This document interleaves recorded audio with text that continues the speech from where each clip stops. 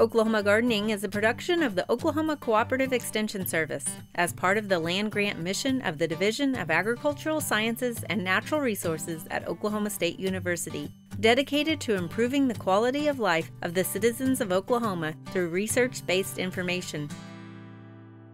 Underwriting assistance for our program is provided by the Oklahoma Department of Agriculture, Food, and Forestry, helping to keep Oklahoma green and growing. Today on Oklahoma Gardening, join me as I take a closer look at a few different species of hydrangeas. David Hillock introduces the 2021 Oklahoma Proven Shrub. Laura Payne shares a hot garden tool. Then we head to Oklahoma City to learn about another side of horticulture as we visit with the great folks at Calvert's Interiors. Finally, Barbara Brown is back with another tasty dish. We've got a full show, so let's get started.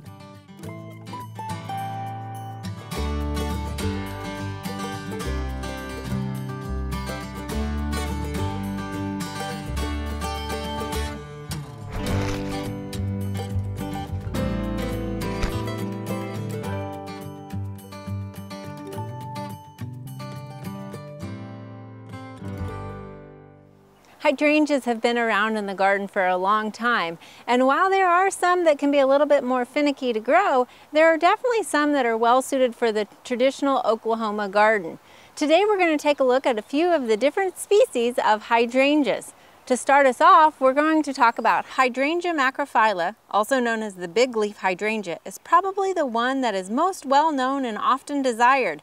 Many of them have the recognizable mop head flower that can range from pink to blue and is influenced by the pH of the soil. If you purchase a blue hydrangea macrophylla and plant it in the ground, it may still bloom pink. So don't think you accidentally picked up the wrong plant. Most often in Oklahoma soils, you'll find that the lilac to pink range is a result of our slightly acidic to alkaline soil. To get that blue hydrangea, you need to have a highly acidic soil. So you might consider planting them alongside your azaleas or blueberries where perhaps the soil has been amended. Also, you can try growing them in a container where it will be easier to adjust the pH. Adding aluminum sulfate will make the flowers bluer, while adding lime will make them pinker. And the soil needs to be amended well in advance of the flowering period, typically in late fall or early spring. Now the white macrophyllas will always be white regardless of the soil pH. And speaking of soil, most hydrangeas, especially the macrophylla, like a moist yet well-drained shady location. So you can see we've planted ours on the north side of one of our buildings and while we have some trees planted there that will eventually provide some shade, they're not quite giving them just enough relief just yet. So you can see we've got a little bit of scorching on some of our macrophyllas. But finding that north side or that microclimate is a good idea for those macrophyllas in order to give them an ideal condition. Now when it comes to pruning hydrangeas, sometimes that can be a question mark depending on those species.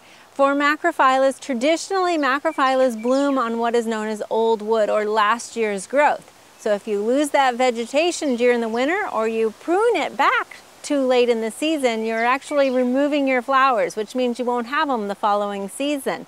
However, because of the new breeding that's been going on with a lot of the hydrangeas, there are now known as repeat blooming macrophyllas that bloom on old wood and new wood. So even if you lose last year's growth, you still will have some flowers that come and are produced on that new season.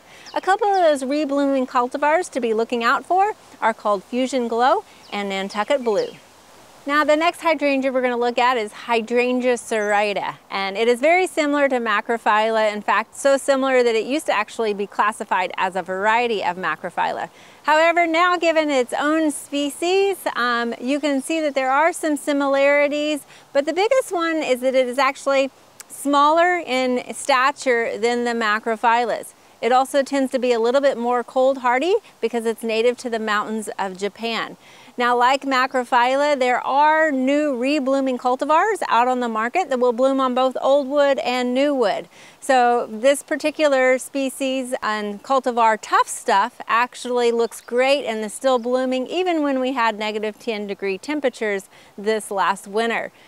Now the big difference between the serrata and the macrophylla is also the flower. So typically with the macrophylla we look for those large mop heads. Um, and so you can see here one is kind of got a little transition between that blue and the pink color. Now with serrata, more of them are going to be this lace cap. You can get macrophyllas that are in lace cap as well. In fact, these are both macrophyllas. However, I just wanted to demonstrate and show you the difference between what is known as a mop head and a lace cap. So again, mop heads are these big, floppy um, balls of clusters of flowers that are beautiful, whereas the lace cap offer you a little bit more of a delicate look in your garden. They have these sterile flower, florets that bloom around the edges um, that kind of encircle these fertile flowers. So these aren't going to be as showy, but they kind of give it that delicate lacy look. Also, you'll notice that this is a flat umbel shape as well. So this is the traditional flower that you'll find on serrata, whereas this is more the traditional flower that you'll find on macrophylla.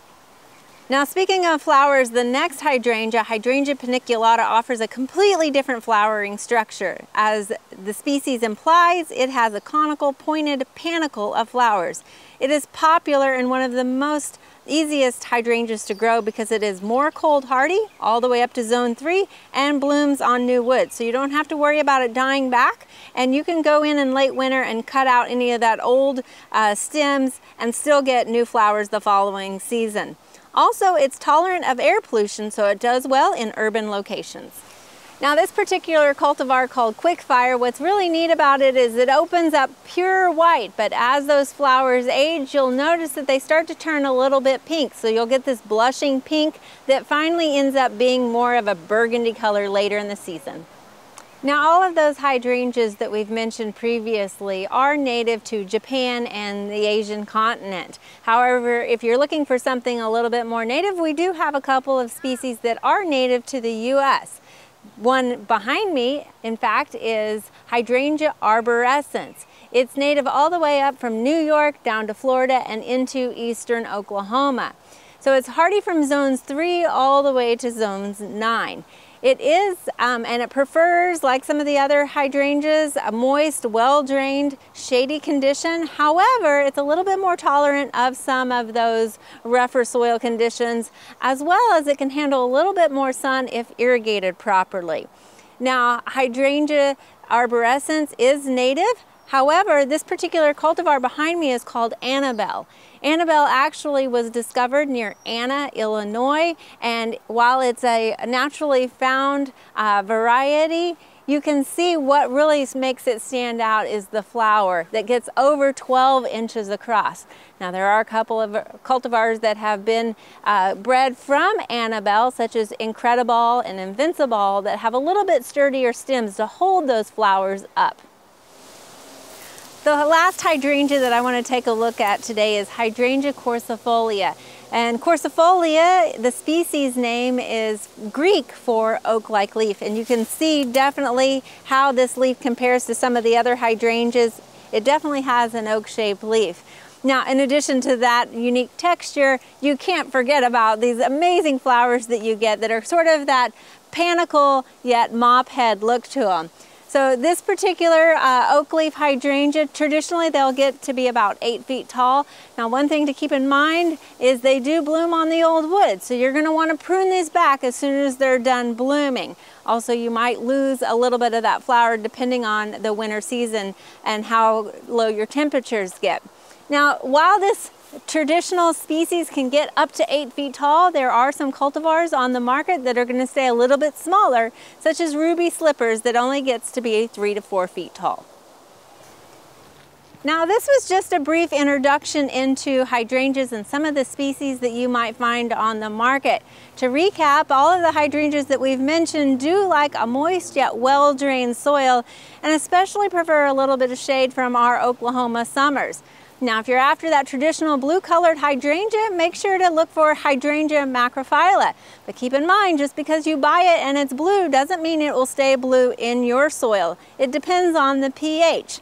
Now, if macrophylla is a little bit too finicky for you, keep in mind there is also hydrangea paniculata, hydrangea arborescens, and hydrangea quercifolia that make a great addition to any Oklahoma garden.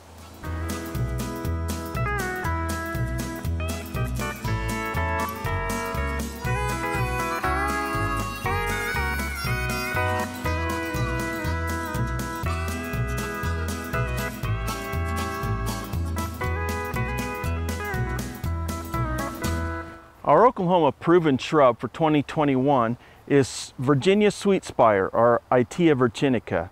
This is a native shrub to eastern Oklahoma, but it's actually quite adaptable and will grow throughout most of the state. It does prefer acid soils, but it, again, it's, it's not too picky. It can get a little chlorotic in higher pH soils, but this plant is found growing in the wild in actually boggy, wet soils it grows in as an understory plant in shady conditions, but it's also very full sun tolerant. This is a nice deciduous shrub that grows three to six feet high with arching branches. Flowers appear in late spring to early summer, and they are long spires of tiny white flowers. And the flowers open up from the base out to the tip, so it appears that they're blooming longer than, than they really are. This also has wonderful fall color. So in the fall time, the, the leaves will turn uh, burgundy red, uh, red and orange colors. The flowering and the, the fall color, even though this plant tolerates shady conditions, the flowering in the fall color is actually even better when it's grown out in full sun. Now there are several different cultivars that are available uh, within the species that are grown and sold in the garden centers. Uh, many of them are smaller than this species, so they're dwarf forms. Uh, they grow anywhere from two to three feet to maybe three to four feet high and just as wide. Um, Henry's uh, Garnet is probably one of the most popular varieties. Uh, there's another one called Scentlandia, which has larger flowers and is supposed to have um, also very more a great deal of fragrance too. So these flowers are quite fragrant, but the Scentlandia is, is considered to be more fragrant than the others.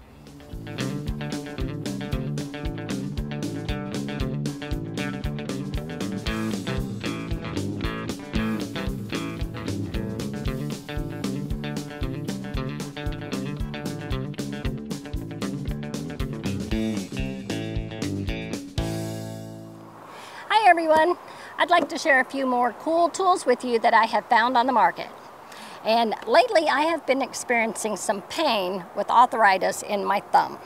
So these old-fashioned spray nozzles just aren't cutting it for me anymore. But I have discovered this new cool battery operated spray nozzle. So some containers I have noticed on the market now already come pre-packaged with this spray nozzle. However, I have found this, which is just a generic universal spray nozzle, battery operated, that will go on any of your other refillable containers. So this little tool here has been a lifesaver for me in the garden.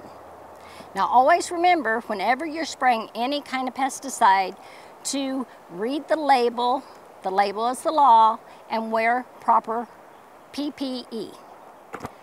If you're not into spraying weeds, then you can also use this other cool tool that I have found, and it is a propane torch. So you just connect a disposable canister of propane to it, push this little button down here which ignites the fuel, and you can then burn off the weeds that are in your landscape, uh, on your sidewalk, driveway. Just please don't catch your yard or your neighbor's yard on fire.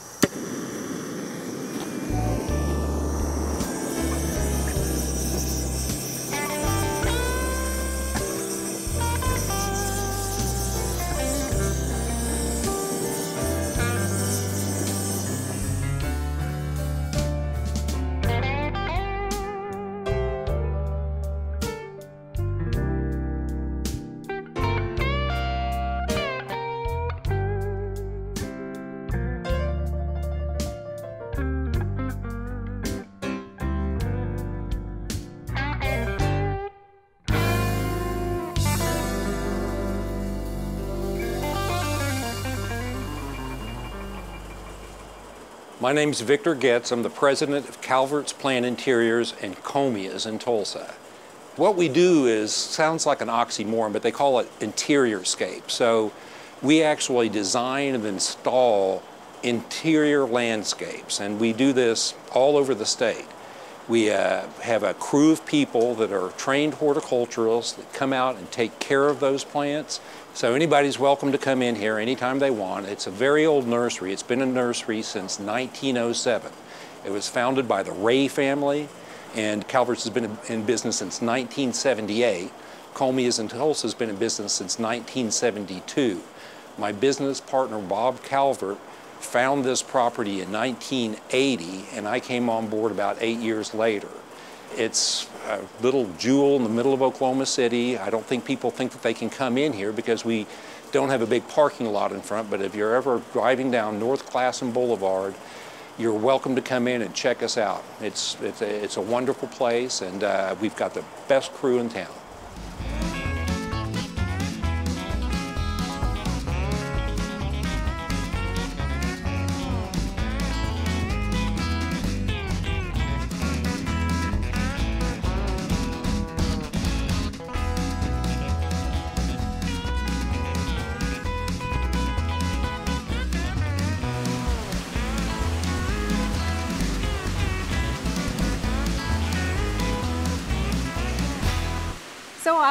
Talk about horticulture, we think about the outside landscape, but part of horticulture is also looking at the interior scape. Today joining us is Aleks Payne who works for Calvert's Plant Interior and we're at one of your clients? Yes, we are, yes. So tell us that we're at Leadership Square in downtown Oklahoma City. Yes. So tell us a little bit about what your role is for interior scaping. So I'm a designer at Calvert's um, and I'm basically a liaison between our clients and kind of what we do in terms of designing these spaces for them. This is one of my clients' uh, buildings, and so we've uh, designed. I've helped, you know, work in designing all of these beds and various pots, and we do holiday decorations and all kinds of things for him. Yeah, so so often we appreciate that, but we don't realize that somebody has dedicated their life to doing Yeah. this sort of thing. So in hotels, resorts, um, office buildings, Yeah. and I assume each each setting is as unique as an outdoor garden, right? Exactly. You have to worry about the light. You have to worry about the the airflow. You have to worry about um, The you know, people. the people. How yeah, how public is the space? You have to be careful of what kind of plants you put in. You know, you don't want to have a bunch of you know cactus here where you know somebody might hurt themselves. Um, but for the most part, it's going to be light is a huge factor for I was to designing. say, yeah. So we've got glass, um, you know, walls over there, but yeah, we're kind of dark down here. really dark over here. So these are all going to be very low light plants. Um, of course, if we've got plants up next to the glass, those are considered highlight, um, depending on you know south, east, west. But when they're in the middle of a room like this, you have to be really careful not to put something that needs direct sunlight because you're never going to get it. and so tell us a little bit about like what um, do these plants get replaced? Are they maintained regularly? Do they go away or. These how plants in here for this specific building are maintained twice a week. So um, we've got a plant technician that comes in on Tuesdays and Thursdays, waters them, cleans them, makes sure they you know stay pest free, keeps trash and things out of them because it is a public space. Uh-huh. If any of them don't make it or start kind of you know struggling, need to be replaced, we come in and do that. Um, and it's as simple as just pulling them out and putting a new one in. We sort of have a mirage here that this is a planted bed, but in reality the plants are So happier yeah, so they're their pots. actually in their pots. Is that correct? Actually, in their pots. So most houseplants like to kind of have that root-bound, snug environment. Mm-hmm. They don't want to just have a free-for-all for watering and things Plus, like that would also be a lot of soil to bring in, and I Tons mean, of just soil. A, yeah, a these nother- are very deep beds. So Okay. okay. a whole nother. So tell us a little bit about some of the other clients that you have and some of their requests, or Mm-hmm. What's some. So in terms of public spaces, like you said, we work in restaurants, we work in hotels, other office buildings. Um, most of those, you know, in terms of just kind of bringing green into those spaces, um, kind of more putting things that are more aesthetically pleasing, you know, helping the air quality and that type of thing. Um, we do some residential work, and some of those can be a little bit smaller, and you know, just a plant here or there. But um, our biggest clients are probably going to be in this downtown area, and it's going to be more commercial public spaces. So you mentioned the air quality. What are some of the other benefits? Why are people wanting to bring plants inside? People want to work in a green space. They help, you know, it helps filter the air. It, you know, is pleasing to the eye. People, people enjoy having plants in their environment. And So, it doesn't it also help soften the sound too? We've got definitely great for sound dampening. Um, of course, in a space like this where you've got a water feature, you've got restaurants, it can be very loud. Without these plants, it would be even louder than what it is now. That's So, fabulous. So, yeah. is there ever a situation where you're like, oh, we just don't have an, a right plant for that situation? And what do you do in those situations? So if there is an area that we don't necessarily have uh, the light, or you know, even somebody who doesn't want to, you know, pay for our maintenance program or doesn't have a green thumb, um, we have some silk options that you can also use for those areas. But they Um, do require some maintenance too. a little right? bit of maintenance, yeah. You just gotta, you know, come through, and uh, usually it's really just as simple as dusting. Okay. But you have to do that a little bit more frequently on the faux than you do on the live. Okay. So, yeah. And then, and uh, you also mentioned that you had some moss options. Can you tell us a little bit about what those yes, are? so what we do, and leadership has a couple of these um, moss walls, moss um, sort of like picture frames. So we'll frame up moss. We have several different types of moss, all in various colors, um, different textures, and so we kind of work with uh, with one of our greenhouse gals, and they kind of help us put together those different moss walls and frames. So and- are those living moss or all preserved. Okay. Yep, all preserved moss. Um, pretty little maintenance when you have them in a public space like this. People get handsy, so you know you may have to come in a couple times a year and kind of replenish the spots that have been touched. But other than that, no water, no anything. So they're really good for a space that doesn't get any light, or you know Okay. even a space that's tight. But yet still offers some of those things that green plants do, softening. Absolutely. softening, sound dampening, Yeah. all all of the aesthetics. So. Excellent. Well, thank you, Aleks, so much for sharing Yeah, this with thank us. you. We're glad you could come by. We appreciate your work that you're doing. Thank you.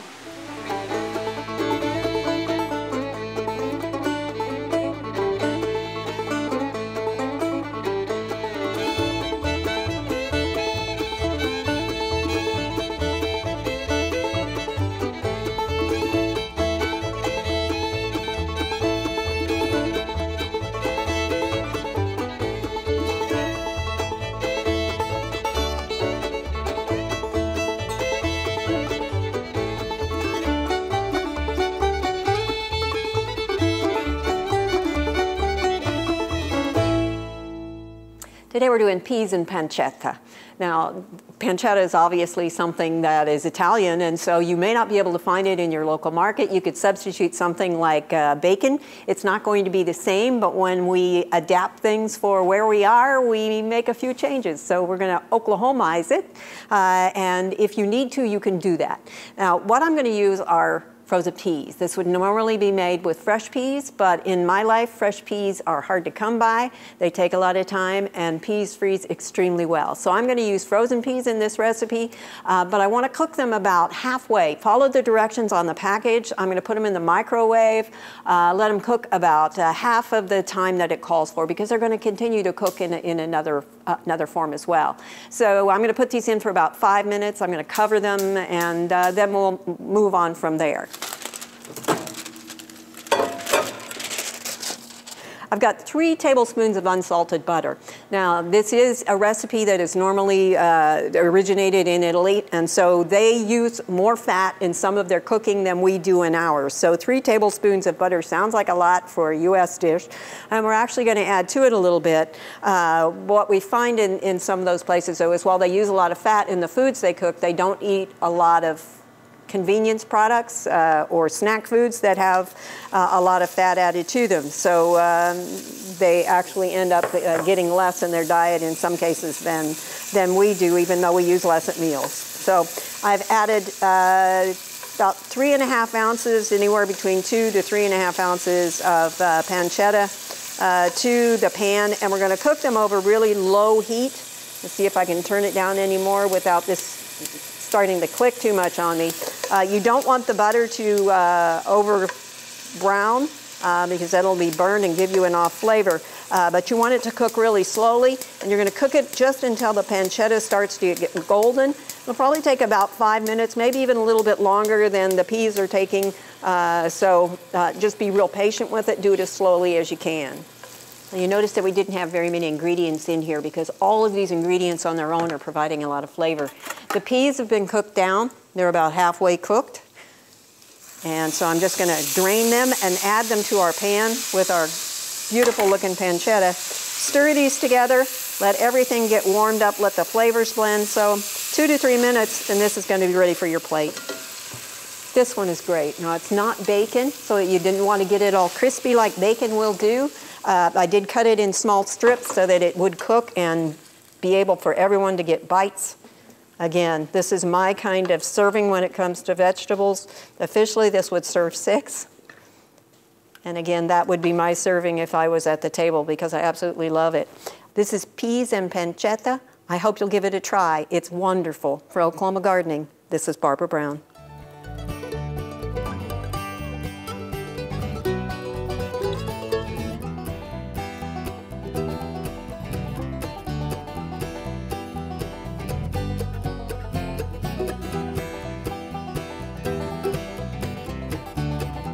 There are a lot of great horticulture activities this time of year. Be sure and consider some of these events in the weeks ahead.